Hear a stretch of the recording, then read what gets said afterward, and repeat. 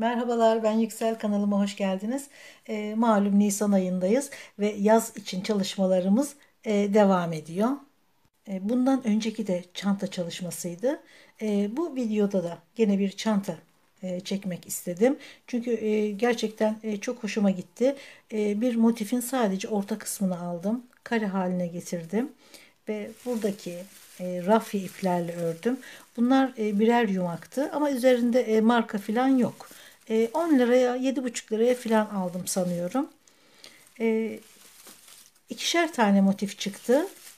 Fakat bu renk kağıt ip kullandım. Çünkü uygun e, rafya ipim yoktu elimde. Bunu iki kat olarak kullanınca buradaki kalınlığa ulaştı. E, gayet iyi oldu. Ama elinizde kombin yapacak rafya ipleriniz varsa onları kullanın. Tamamı aynı ipten olsun. Bu şekilde ben e, rengarenk motifleri ördüm. Kenarları hep aynı renkle geçtim. Bu çift katlı kağıt iple. Bu çok güzel bir e, plaj çantası, günlük çanta artık nasıl kullanırsanız e, çok kullanışlı ve çok şık bir e, çanta haline gelecek. Şimdi bu eklemeyi göstereceğim ve motifin e, yapılışını gösterdikten sonra harika bir çanta olduğunu çekimlerde göreceksiniz. E, motifin yapılışını e, daha açık bir ipte göstermek istedim. Yine bu da bir rafya ip.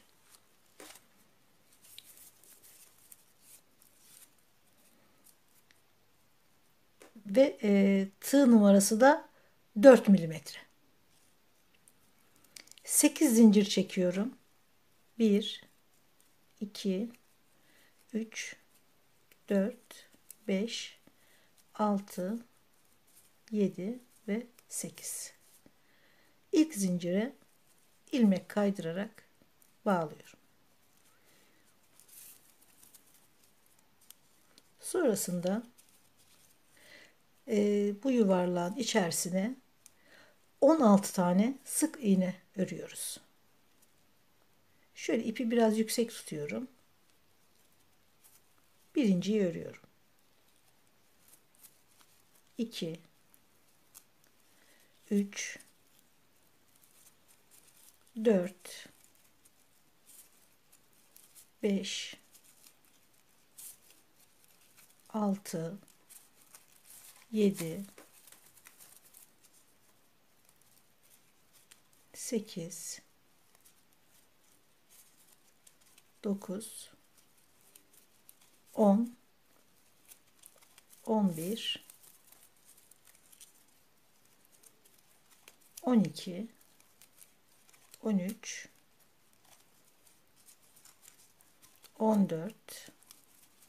15 16 16 zincirde e, sık iğneden sonra ilk sık iğnenin üzerine gene ilmek kaydırarak bağlıyorum. Şöyle biraz sıkılaştırarak bunu arada sağlamlaştırıyoruz önce bir ilmek alarak sonrasında aralardan geçirerek örneğin içerisinde, örgünün içerisinde kaybediyoruz.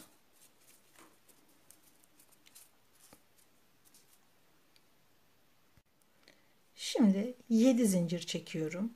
1 2 3 4 5 6 7 doluyorum.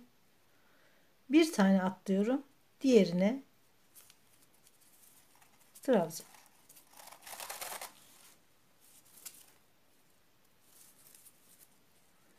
Sonra 1, 2, 3, 4, 5 zincir doluyorum. Bir tane atlıyorum diğerine.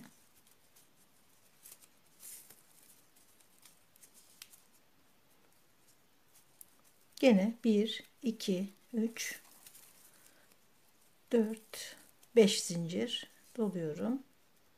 Bir taneyi atlıyorum. Diğerine trabzan. Bu şekilde 8 çiçek örüyoruz. 1 2 3 4 5 6 7 ve son çiçeği yapıyoruz. 3 4 5 1 2 3. zincire bağlıyoruz.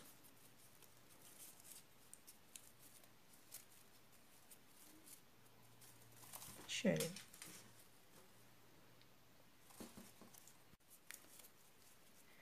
Şu ilmeği hafif yüksek tutuyorum. Şöyle çok hafif. Boşluğa bir sık iğne. Sonra yarım trabzan yani bir kere de çıkıyoruz. Sonra ikili trabzan. İki kere doluyorum. İki tane üç trabzan yapıyorum. Bir, iki, üç. İki kere doluyorum. Bir tane daha. Bir, iki, üç. Şimdi araya bir zincir. Gene iki kere doluyorum. İki tane üçlü trabzan. Bir, iki, üç. Tekrar doluyorum. Bir, iki, üç.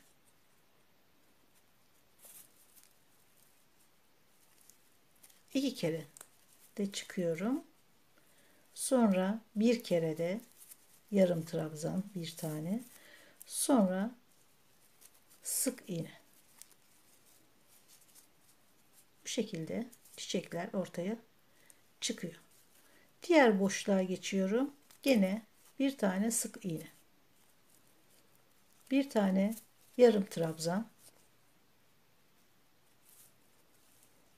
Bir tane ikili trabzan. iki tane üçlü trabzan. Bir, iki, üç. Bir tane daha.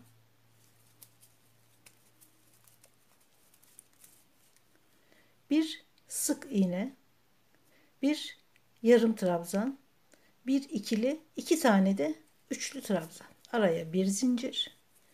Tekrar iki tane üçlü trabzan.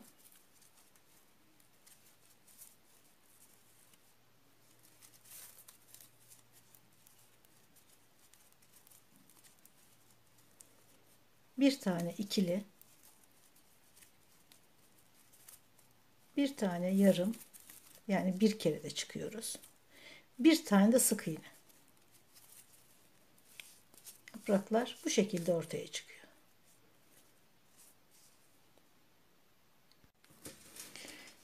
bu şekilde çiçeği bitiriyoruz son yaptığımız sık iğne ile diğer sık iğnenin karşısındaki sık iğnenin üzerine ilmek kaydırıyoruz. Her trabzanın üzerine ve ortaya geliyoruz.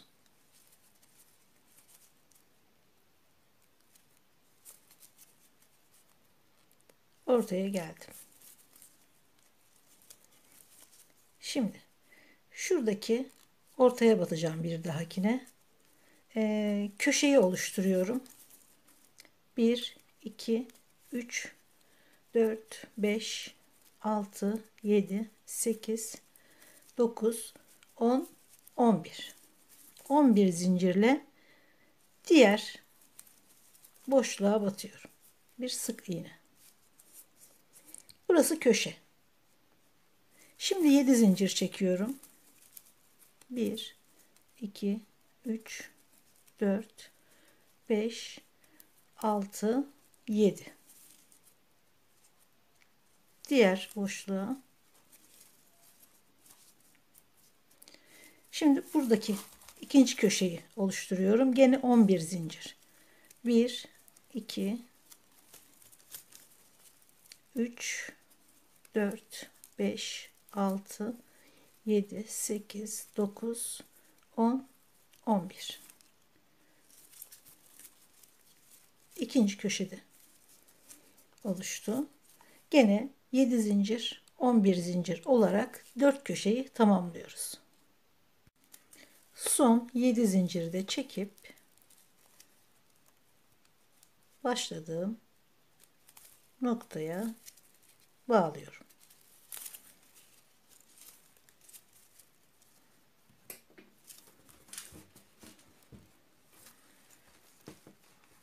Köşeleri oluşturduk. Şimdi e, sık iğnelerini öreceğiz.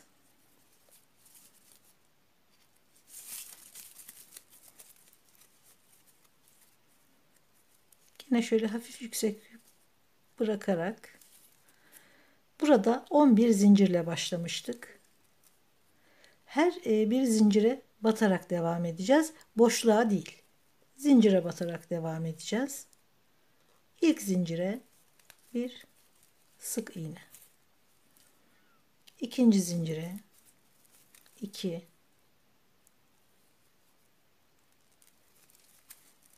3 4 5 6 6 sık iğneden sonra e, şurada göstereyim. Burada da değişik başka bir çanta ördüm. Tek e, motifle yani tek motif derken birer tane önde ve arkada motif kullandım. E, gene kağıt ipi çift kat kullandım. E, böyle çapraz bir çanta ortaya çıktı. İçine e, taş rengi bir astar yaptım. Ve ona yakışan şöyle bir sap aldım. Bunu örebilirsiniz de tabii ki. Bunu da bu şekilde değerlendirdim. Şuradan göstermeye çalışayım. Şöyle şurada köşeler oluşturacağız. Buraya batacağımız için 3 zincir çekiyorum. 1 2 3 zincir. Sonra tekrar e, 6.'yı ördüğümüz sık iğnenin dibine batıyoruz. 1 2 3 4 5 ve son zincir 6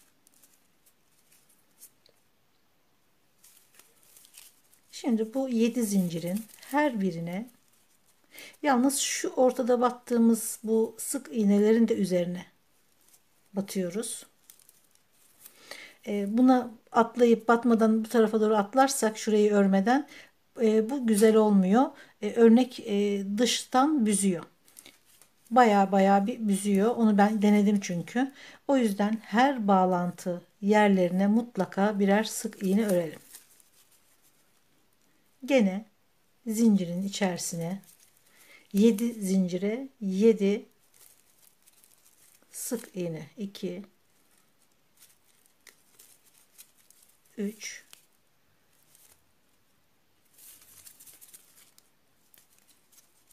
4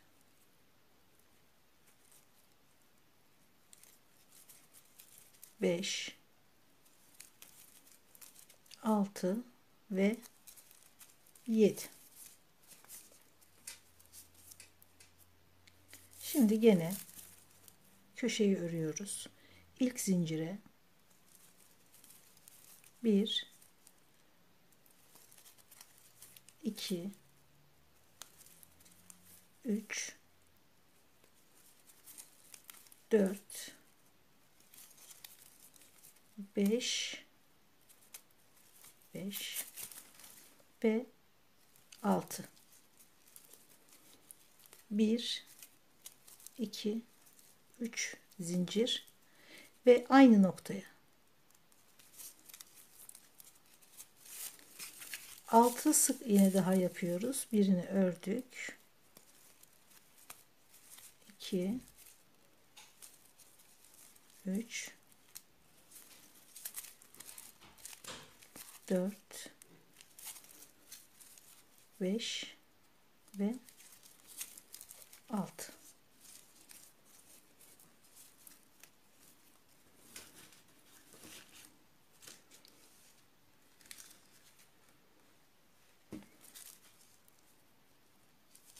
Sonra şu araya battığımız sık iğnenin üzerine de örüyoruz. Oraları hiç atlamayalım. Tekrar 7 sık iğne örüyoruz. 7 e, zincirin üzerine. Bu şekilde örerek başladığımız yere geliyoruz. Motifi kara hale getirip bir sırada sık iğne ördükten sonra bir sıra daha örüyoruz. Fakat bunu motifte de görüldüğü gibi son sıraları hep aynı iple örüyorum. Bütün motiflerin kara haline geldikten sonra son bir sıra daha aynı iple örüyorum. Birleştirmeleri de aynı renkte yapıyorum. Şimdi ikinci sırası yani şuradaki kahve sırasındayız. Kullandığım ip de buydu. Şimdi ben e, örnek olsun diye yaptığım için ikinci sırayı da gene aynı ördüğüm iple göstereyim. İpi şöyle göstereyim tekrar. E, bitti ve ilk trabzana bağladım. Bir şöyle sıkı zincir yaptıktan sonra aynı yere her ilmeğin üzerine bir sık iğne yani her sık iğnenin üzerine bir sık iğne örerek devam ediyoruz.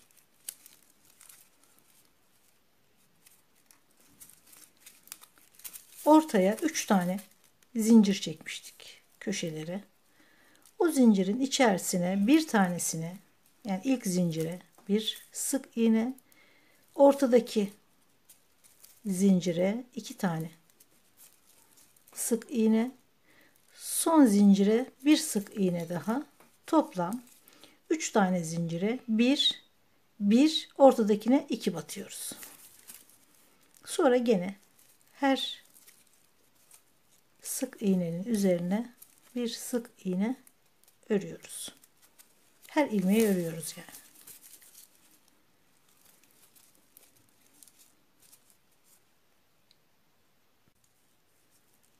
Köşeye geldim. 3 zincirin ilkine bir sık iğne, ikincisine bir iki sık iğne, üçüncü zincire bir sık iğne. Sonra tekrar örmeye devam ediyorum.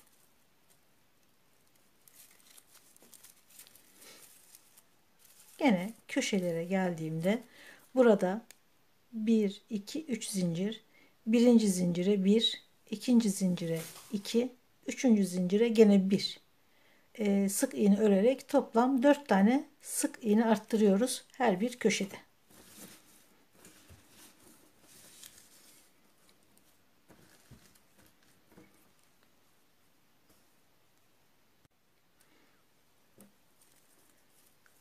Son ilmeği de ördükten sonra ipi çıkarıyorum. Karşısındaki trabzana yani ipi bağlayacağımız ilmeğe sonra da bu şekilde geçirip örgünün devamlılığı bu şekilde muntazam görünüyor. İpi de içeride kaybettikten sonra motif bitti.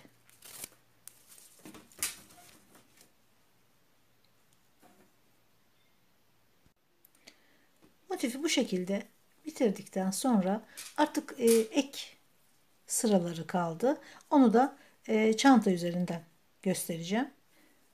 Bu sadece nasıl örüldüğüne bir örnek olsun diye farklı açık renk bir iple çalışmak istedim.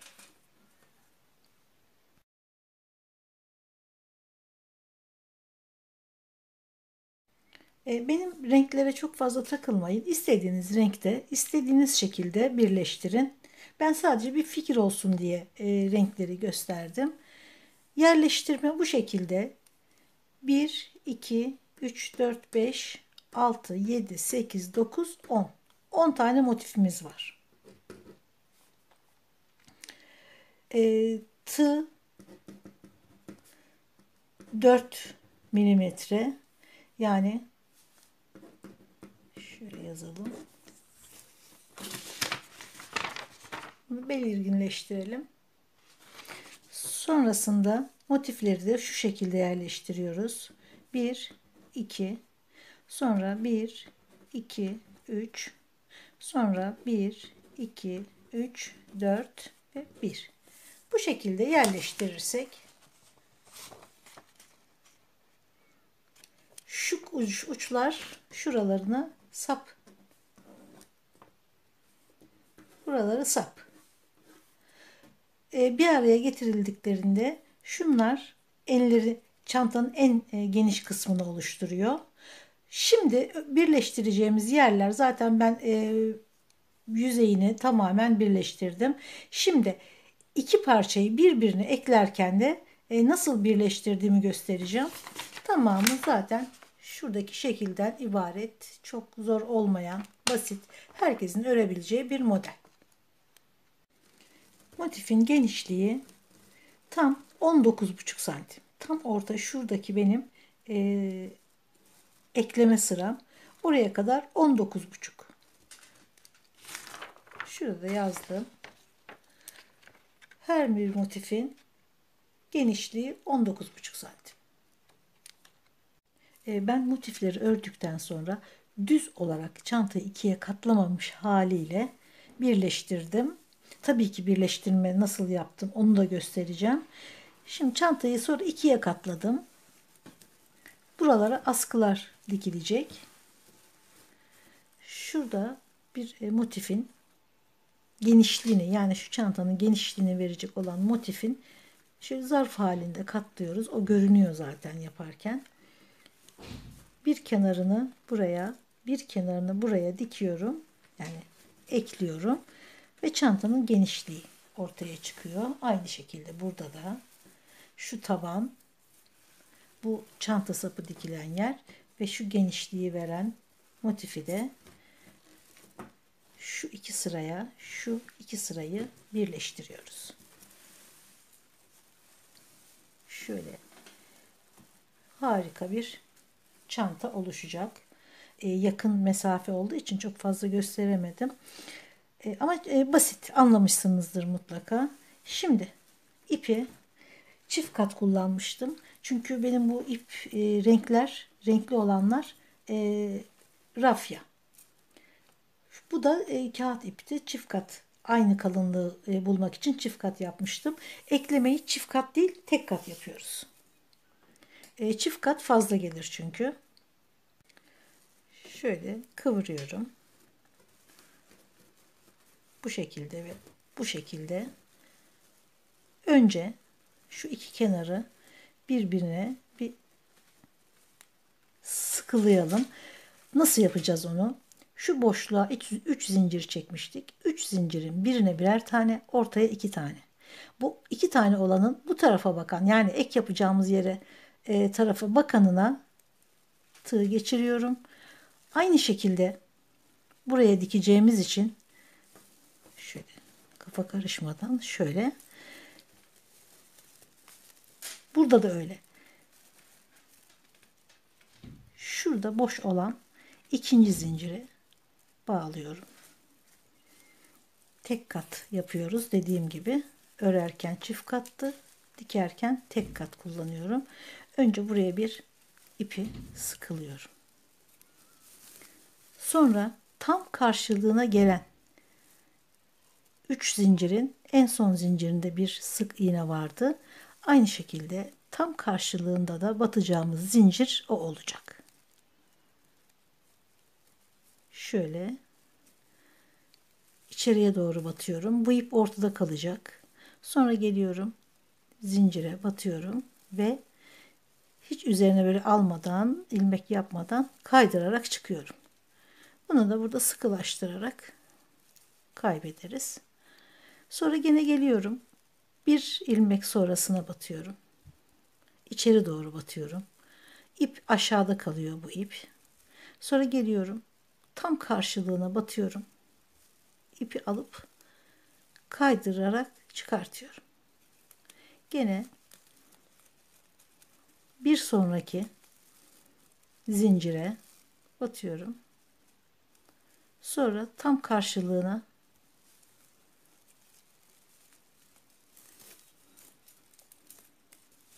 gene şöyle ilmeğe batıyorum.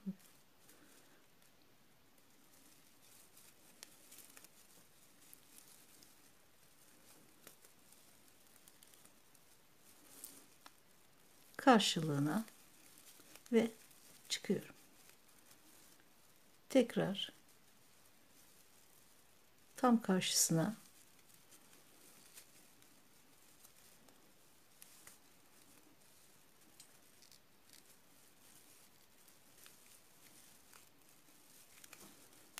Bakın bir zincir görüntüsü oluşuyor. Gene takip ederek ilmekleri çok kolay aslında. İlk önce biraz belki zorlanırsınız ama sonra kolay. Tekrar zincire ve karşı ilmeğine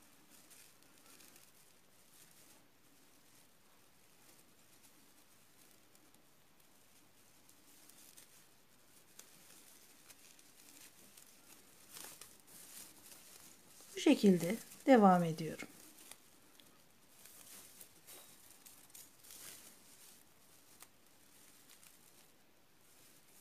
Şöyle açıkta göstereyim. ilmeğin içerisine içeri doğru buna da içeri doğru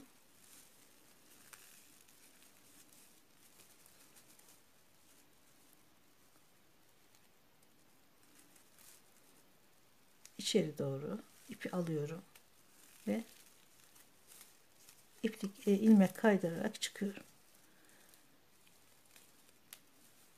Zincirin içinden diğer zincirin içinden yani ilmeğin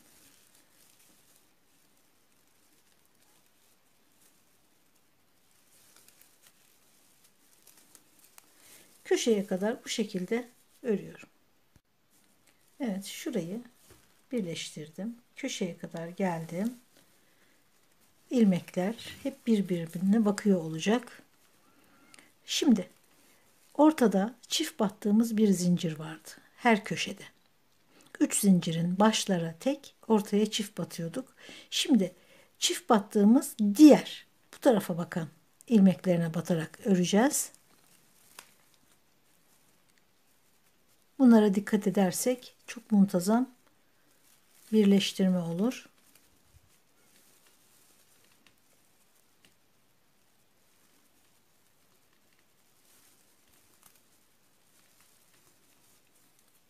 Gayet kolay aslında.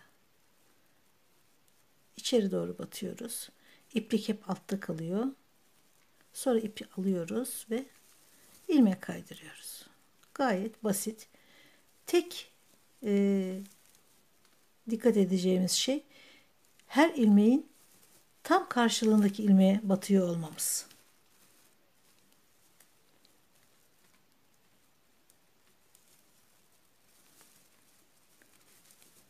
birleştirirken kayma yapmadan tam birbirine bakan ilmekleri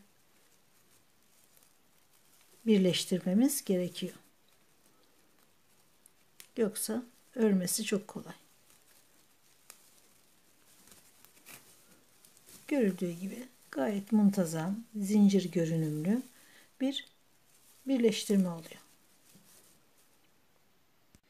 Evet, bütün ek işleri bitti. Şöyle ölçersek tam kenardan diğer kenara 53 santim. Genişliği 53 santim oldu. Şöyle yüksekliğine de bakalım.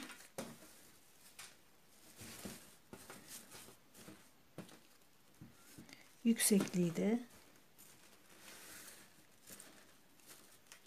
37 buçuk.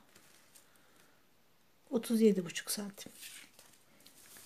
E, saplarını da daha önce e, ördüm ve e, eğer takip ediyorsanız diğer videolarımı e, orada kullandığım saplardan gene. E, bundan önceki çantada başlarken şöyle geniş bir e, dikme payı yani o da görüntüsü için yapmıştım. Bunu direkt hemen gerekmiyor çünkü parça örmeye başlarken ve biterken hemen şu şekilde dikeceğim. Pay bırakarak dikiş payı bırakarak kesmiştim. Hemen şuradan dikip sapları da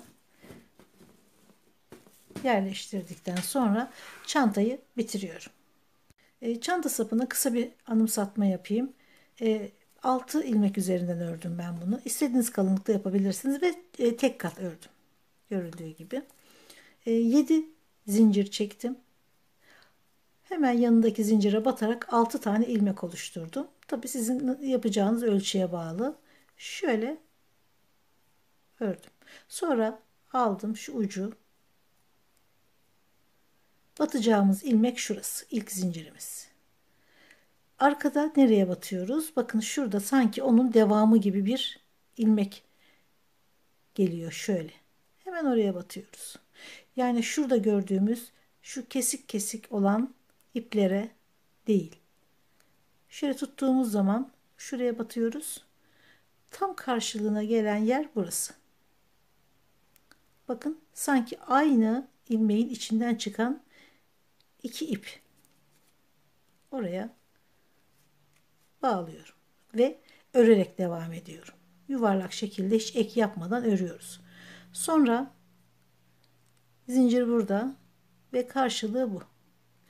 Aslında çok kolay. Nereye batacağımız o kadar belli ki. Sadece el alışkanlığı yapmamız gerekiyor. Zincir burada.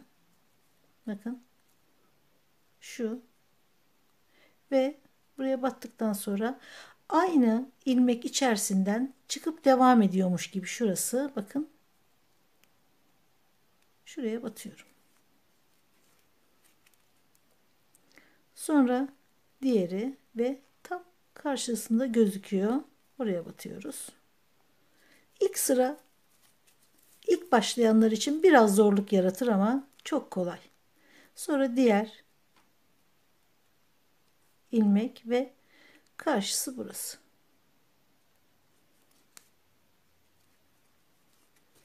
Dikkat etmeniz gereken tek şey e, ilmekleri arttırmadan, eksiltmeden örmek. 6 tane yapıyorsak 6 tane olarak devam edeceğiz. Hep sayın. 1, 2, 3, 4, 5, 6. Şuraya batıyorum. Karşılığı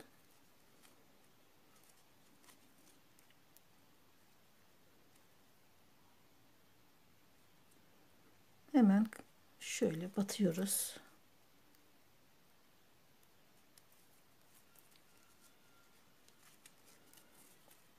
Sonra şöyle bakın çok belli. Şu kesik kesik olanlar değil. Tam karşısı. Şöyle şöyle.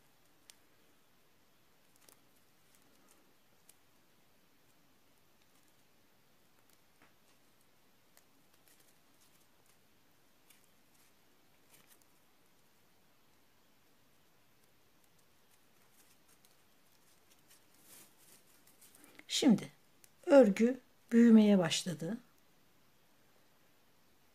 Artık iyice belli bakın. Şöyle. Nereye batacağımız artık iyice belli.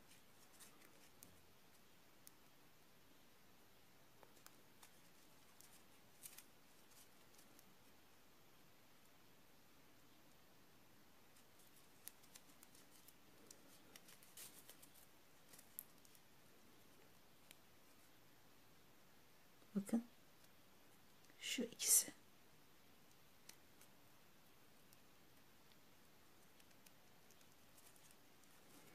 Evet, bu şekilde istediğimiz uzunlukta örüyoruz. Ben Ee, sanırım 60 santim kadar ördüm.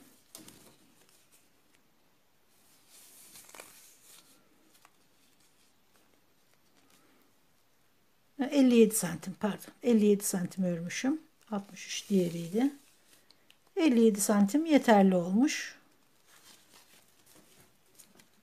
Ee, çanta sapını şöyle tam köşeye muntazam bir şekilde dikiyoruz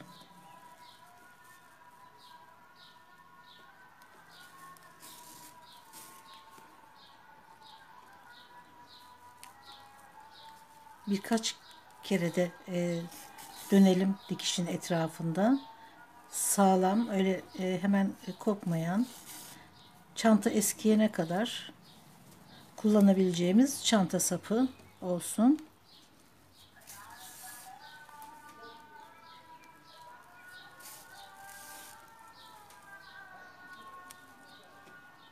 Bir ilmek çantadan, bir ilmek saptan alarak bu şekilde tam şu köşeye monte ediyoruz.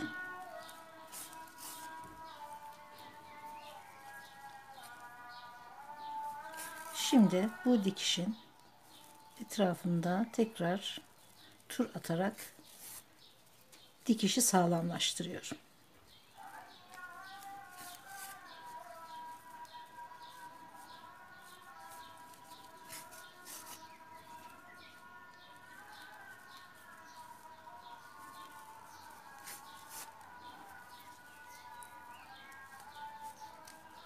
Dikerken de tek kat kullanıyorum. Eklerken yaptığım gibi. Şimdi bir kat daha yani bir e, tur daha döneceğim dikişlerin üzerinden. İyice sağlamlaşsın.